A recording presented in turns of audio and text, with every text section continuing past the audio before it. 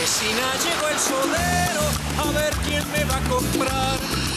Bueno, yo me parece que me voy, así los dejo, se matan solos. ¡Ah! ¡Qué dulce, hermanita! ¡Qué, qué, qué, qué honey! ¡Qué honey! ¿Viste que Ay, Jone? Bueno, chicos, por favor. Ay, por Dios, no me gustaría pasar los últimos años de mi vida viéndolos a, a cada uno por su lado. Bueno, mamá. Mamita, no, eso no va a pasar. No, Tranquilícese sí, que no va a pasar. Sí, sí, va a pasar, porque yo lo veo, lo veo, y, y- y me duele mucho, la verdad que me duele mucho. Eh, Romy, vamos, dale, vamos, muñeca, dale. Yo quiero ver acción ahora, che, me duele mucho nada más. Pero acción no es divertido ver cómo se pelean. Acompáñame al cuarto que te quiero mostrar unas fotos del vestido que me quiero hacer para el casamiento. Dale, vení, acompáñame, dale. Vení, muñeca. Este. A ver, eh, el socio. ¿Dónde está el socio? ¿Tampoco aportó? Por algo se llevan tan bien, por algo son tan compinches. ¿Y vos qué mirás, Císalo? No, ¿Son por mi favor. amigo o no mi favor, amigo? por favor, no lo distraigas a Salo y no intentes cambiar de tema, ¿sí? No lo busques, no lo busques para que esté de tu lado. Las cosas no están funcionando nada bien. Salo, los números. Porque vos, la verdad, ¿quién pensás que atiende toda esta sodería cuando Hipólito y vos no están? A ver. Nosotros. Nosotros. Claro, ¿quién atiende el teléfono, por ejemplo? Nosotros. Todo el día. Eh, ¿Quién atiende a los clientes? Nosotros. Nosotros. Perdón, ¿cuánto hace que no tenemos un cliente nuevo? Ah. Y esta mañana no había nadie. ¿Por qué? Porque todos haciendo guardia, ubicando, ubicando a Sofía. Es una vergüenza, Alberto. ¿Crees que te diga? Es una vergüenza. La sodería otra vez al borde del abismo. ¿Qué? ¿Qué hay que esperar? ¿Eh? ¿Qué tenemos que esperar? ¿Fundirnos otra vez? Tienes razón tu cuñada, tenés que prender el despertador, date, ¿Eh? le tenemos las dos ruedas ¿Qué? afuera Hay que volver, abismo, ¿eh? Hay que volver, a, cierran. volver a venderla como a principio de año. Recién ahí vas a reaccionar. Bueno, bueno. Razón. Bueno, busquemos solución, encontremos soluciones a todo esto. Porque yo me quiero ir de luna de miel tranquilo y que la sodería también esté funcionando. Yo también, yo Ah, también. bueno, Está bueno. bien. Yo voy a recoger el guante. Voy a, no voy a hacer caso a todo lo, lo que me han tratado de ofender y voy a olvidar todas las palabras que, que, que me dijiste. Le voy a meter pilas y, y vamos a sacar la sodería adelante. Con el esfuerzo de todos nosotros, como una familia, como siempre lo fuimos. Muy bien. Ya está, ¿eh? Muy bien. Entonces, tratar por lo menos que la reunión sea antes de nuestro casamiento. Eso ¿eh? Pero vos también en contra. Vamos. ¿Qué dije? Como una familia. Discúlpame, en el escritorio te dejé un listado con las cosas de las que hay que ocuparse. Si tenés tiempo y ganas, Sí, y yo te dejé la factura con mis honorarios, a ver si alguna vez aparece el cheque, ¿no? Porque uno también tiene gasto, ¿viste? Este, uno no se puede vivir del amor, ¿eh? Con esto salo sale, ¿me acompañás? Leonor, por favor. Por momentos siento que con Alberto, no sé, no puedo más. Tenés que tener paciencia, Sofi. La gente no cambia de un día para otro. Tenés que entenderlo. Sí, Yo lo entiendo, pero la paciencia tiene un límite también. Además, yo, yo, yo lo entiendo, pero, pero siempre tengo la sensación que arranco de nuevo, que, que empezamos de cero y... Pero Sí, cosa, ¿te fue a buscar? ¿O no? Bueno, no te quiere perder. Evidentemente no te quiere perder. Sí, no, seguro que no me quiere bueno, perder, me fue a eso buscar. tenés que valorarlo me fue a también. buscar- me fue a buscar, pero se encontró con otra, con una de sus Pero eso ex. es un encuentro, ¿Pero es un encuentro? Pero ¿sabes con cuántas se importancia. encuentra? Pero es que está desparramada la ciudad de sus ex. No se puede creer. de- Además, además yo tengo la sensación que algo me oculta con mi papá. Y la verdad es que, no sé, son tantas cosas que, que- que no sé cuándo voy a empezar a pensar en mí. Mira, en eso la verdad que no, no me puedo meter. Me encantaría aliviarte o poder ayudarte, pero No, pero me ayudas, escuchándome. Ya perdiste como media hora conmigo. no, no perdí nada, al contrario. Ahora, ¿sabes qué? Tendrías que tomarte las cosas con un poquito más de calma, ¿no? Me parece que estás como muy cargada. Sí, la verdad es que sí. Yo creo que si te hubiese tenido un poco más de paciencia, a lo mejor vos y yo en este momento. No. No, no. Es un chiste. Nada. Malo. No me hagas caso. ¿No me acercarías a un lugar? A donde vos quieras.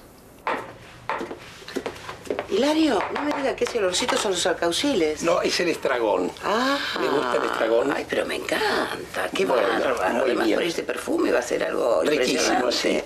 ¿Y mi ex marido?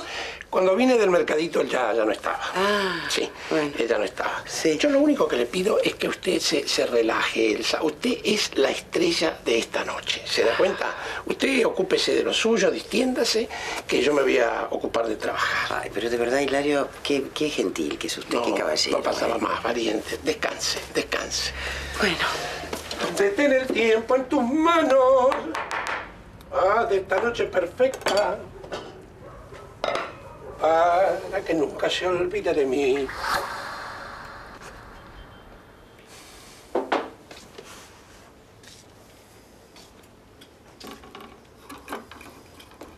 Hola. Hola. Bueno, ¿falta alguna factura para pasarme, algo así? O, o, ya con eso terminamos? ¿O hay alguna otra cosa más que tenés que decirme, para decirme? Ah, pero qué fácil que hacer las cosas. Vos, claro, vos te mandás la macana y tirás la pelota afuera. Pero claro, nosotros somos los pesados que te venimos a cargar con todo, vos tenés que aguantar toda la carga nuestra, ¿no? No, está bien, tenés razón. Lo que pasa es que, viste, que... Que, que, que, que me tengo quilombo, viste, tengo bolonqui, viste. me- Pero Tito, siempre tuviste de- quilombos en tu vida. ¿Qué me venís a contar? Pero siempre lo dejaste atrás de la puerta de tu casa. Pero ahora nos integrás a todos en tu demencia, en tu delirio, viejo. Bueno, pero... Pero qué, momento que estoy hablando yo. Vos antes siempre resolvías todas tus cosas, ¿no? Perfecto. Pero ahora estás todo el tiempo atrás de Sofía. Y Sí. limpiándole las cagadas a tu suegro, que no entiendo por qué. Si es un tipo grande que tiene su vida, no entiendo por qué vos le tenés que limpiar la cagada a tu suegro. Perdóname, soy duro. Pero perdóname porque estoy enojado. Necesito Sí. desahogarme y además que me explique porque no lo entiendo. Lo que pasa es que si no se pudre todo con Sofía, entonces yo tengo que agarrar y, y- y parar ese bolonqui Ah, se pudre ¿me todo con Sofía. Ah, ¿y qué gracia hay en que se te pudra todo en tu familia? ¿Qué gracia hay en que se te pudra todo en tu trabajo? ¿Eh? ¿Qué negocio es ese, hermano? Pero bueno, yo creí que ustedes me estaban haciendo el aguante. Te estábamos haciendo el aguante, pero tú tienes un límite, viejo. ¿Pero vos qué te pasa? ¿Qué te pensás? ¿Que el amor que yo siento por Leonor es menor que el amor que vos sentís por Sofía? ¿O que Manu es más importante que Romina, por ejemplo? No, no, no, está bien. Por, por- por- entonces, ¿cómo es posible? Nosotros tenemos que llamar, te tenemos que convocar a una reunión de directorio para que nos des bola. No, hermano. No, Tenés ¿eh? razón, tenés razón, tenés razón, tenés razón. Bueno, bueno, yo este, te- to- todo esto te lo digo porque la verdad, bueno, yo eh, recién ahora estoy aprendiendo a querer a una mujer, ¿no? Que es Leonor, vos sabés, este, que es una mujer con la que yo estuve toda mi vida, este, nos conocemos desde chicos.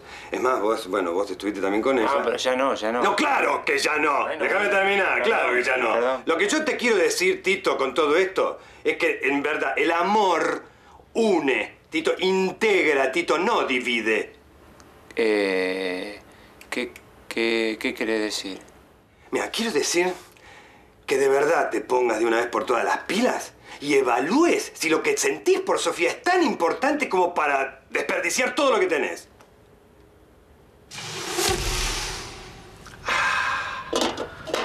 El estragón tiene un sabor intenso, infinito, ¿no es cierto? Es como que le da vida al plato. Yo esa- esas canciones que la voz le da vida a la canción. Sí, claro, sí. Como su voz, Elcita. Ay, por favor, Hilario. Ahora vamos a dejar que esto se asiente. Sí. ¿Verdad? Sin apremios, sin apuros. Hay que dejarlo sin ningún apuro, que esto se asiente bien para que Sí. tome el sabor y la consistencia Sí. que debe tener. Igual nosotros no tenemos ningún apuro. Ningún apuro. Todo el tiempo del mundo. Me parece bien. Sí. Porque no hay que dejar que los sabores se mezclen. Claro. No, no hay que dejarlos que se mezclen, sino que se neutralicen, que es lo importante. Qué bien. Así es. Bueno, yo, bueno, yo puedo hacer una ensalada. Nada de nada. Acá el que hace todo hoy soy yo. Bueno, aunque sea pongo la mesa, Hilario, de verdad. Yo me voy a encargar de poner la mesa. Hoy atiendo yo. Pero de- mire que no me cuesta nada, ¿eh? ¿Sabe lo que tiene que hacer usted, Elsa? Perdóneme que le recomiende que Sí. se recueste. Ah. Pero va a tener un día muy trajinado. Sí. Para que se distienda, los nervios aflojen. Sí. Cuando esté la comida lista, yo me ocupo de llamarla. Sí, qué encanto, de verdad. Por favor. No, eh, ¿sabe qué voy a hacer? Yo voy a poner una buena música que, que a usted lo inspire mientras cocina. ¿Qué le parece? Eso puede ser. ¿Sí? Mientras usted busca la música, si me permite, me voy a lavar las manos, paso a tu alí. Pero como no, pase nomás, Gracias. sí. Qué bárbaro, ¿no?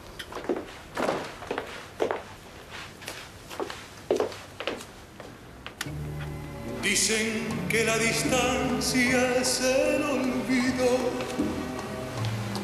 pero yo no concibo esa razón,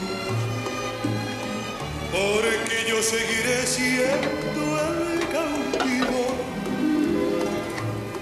de los caprichos de tu corazón. Supiste esclarecer mis pensamientos. Me diste la verdad que yo soñé, ahuyentaste ¿Hilario? en la primera noche que te amé. ¿Me vas a decir por qué te quemaste así?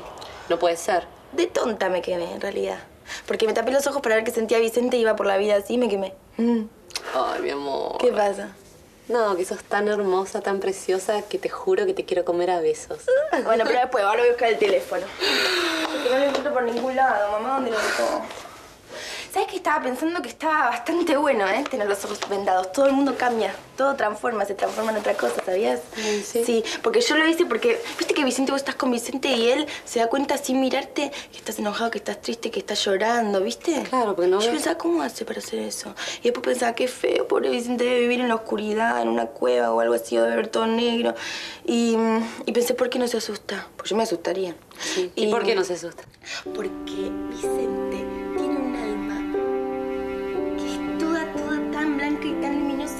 cómo se va a asustar. Porque aunque vea todo negro, todo negro no se asusta. Está lleno de luces.